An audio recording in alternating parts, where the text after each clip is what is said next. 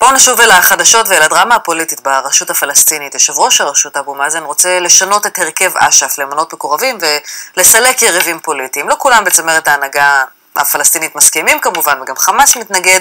המהלך הזה גם צפוי להביא לשינוי מדיניות כלפי ישראל. על המשמעויות, כתבנו לענייני ערבים חזי סימנטוב. דרמה פלסטינית במיטבה מתרחשת בימים אלה ברמאללה. יושב ראש הרשות הפלסטינית מחמוד עבאס אבו מאזן כינס אמש את הוועד הפועל של אש"ף כהכנה להתפטרותו מאש"ף.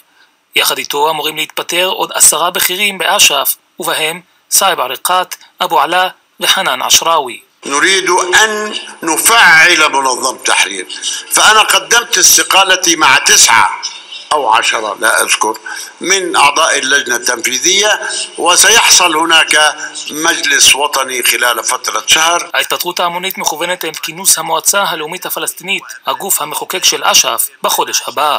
בכינוס הזה מתכנן אבו מאזן לאשר את מינוי מקורביו לחברים חדשים בהנהגה הפלסטינית. כך הוא מקווה להיפטר מיריביו בצמרת אש"ף, ובראשם יאסר עבד רבו. אבל בפוליטיקה הפלסטינית בין ההכרזה לביצוע עשוי לחלוף זמן רב, ואכן, ההתפטרות עצמה תיעשה רק ביום כינוס המועצה, בנימוק שאסור שייווצר ואקום פוליטי. وخاصة فيما يتعلق بوجوب تحديد العلاقات السياسية والاقتصادية والأمنية مع سلطة الاحتلال إسرائيل وذلك على ضوء تنكر الحكومة الإسرائيلية لكل ما ترتب عليها من التزامات ومن اتفاقات موقعة ברמאללה טוענים כי מטרתו של העיצוב מחדש של הוועד הפועל של אש"ף היא כפולה. הראשונה, לעצב מדיניות חדשה מול חמאס, והשנייה, ליצור מנגנונים חדשים של עבודה מול ממשלת ישראל. في في معركة شخصية أيضا يحاول أنه يريد أن يطرد بعض بعض أعضاء اللجنة التنفيذية من منظمة التحرير أبو مازن في خريف العمر ولا إيش اللي بعد الخريف مش عارف نعم. في في خريف على ماذا ينتظر هو يهدم المؤسسات الفلسطينية بهذا الشكل ברשות הפלסטינית הכל פוליטי, הכל אישי, וחשבונות אישיים לא שוכחים. על אף שלמראית עין, הכל יכול להיראות הרמוני, כמו בחתונת בנו של ג'יבריל רג'וב, שלשום, מתחת לפני השטח, היריבויות קשות. החתונה, אגב, הייתה הזדמנות למפגש בין בכירי פת"ח וחמאס, שהרי הדוד של החתן, אחיו של ג'יבריל רג'וב, הוא בכיר חמאס בגדה, נאיף רג'וב, שאף שוחרר לאחרונה מהכלא הישראלי. מקורות פלסטינים טוענים שהמהלך של אבו מאזן נועד להכשיר את הקרקע לפרישתו מהחיים הפוליטיים. הוא עדיין מדבר על התפטרות משמעותית יותר מתפקיד יושב ראש הרשות הפלסטינית, אם וכאשר יחליט לעשות. אבו מאזן, לפי אותם מקורות, עדיין לא קיבל החלטה סופית בעניין. אחרי שבוטל המופע...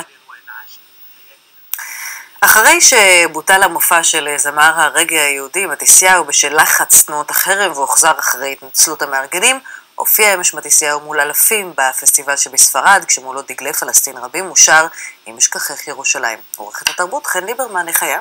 היה מאוד מרגש, מאוד טעון ומאוד מרגש. עכשיו תראי, כשהפסטיבל הודיע שהוא חוזר בו מהביטול, זה כבר היה יומיים לפני המופע, אחרי שכבר הביאו זמר אחר שהיה אמור להופיע. אז מתיסיהו בקלות יכול היה לומר, תשמעו חבר'ה, לא מתאים, אני לא בא, לא צריך טובות. אבל למרות כל אי הנעימות שעטפה את הסיפור הזה, הוא החליט לבוא והוא הפך ערב טעון, שבו שני הצדדים נמצאים ומפגינים מולו עם דגלי פלסטין, הוא הצליח ליצור גם בערב הזה, גם רגעים מרגשים בגלל המוזיקה שלו. בדיווח הבא.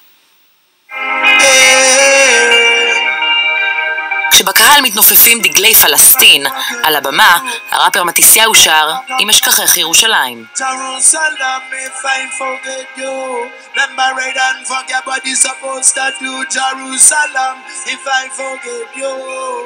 המוזיקאי שהתפרסם כראפר חרדי מצא עצמו בעל כורחו במרכזו של סקנדל פוליטי שפסטיבל הרגי בספרד ביטל את הופעתו אחרי שלא הסכים לתמוך רשמית במדינה פלסטינית.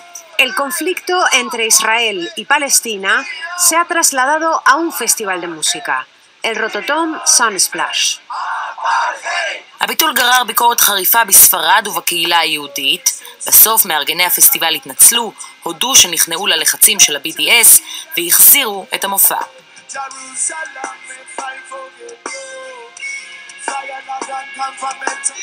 Y aunque algunos prefirieron manifestarse ante la presencia de Matisiahu, otros quisieron... ה-BDS לא ויתרו והפגינו מול המוזיקאי.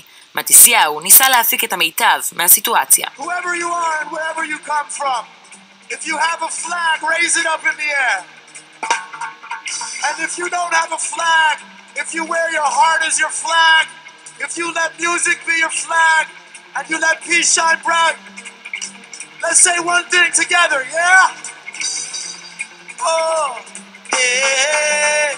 בסוף המופע, כשמתיסיהו שר את הלהיט המוכר שלו, One Day, גם המפגינים וגם המעריצים היו לרגע באותו הקצב.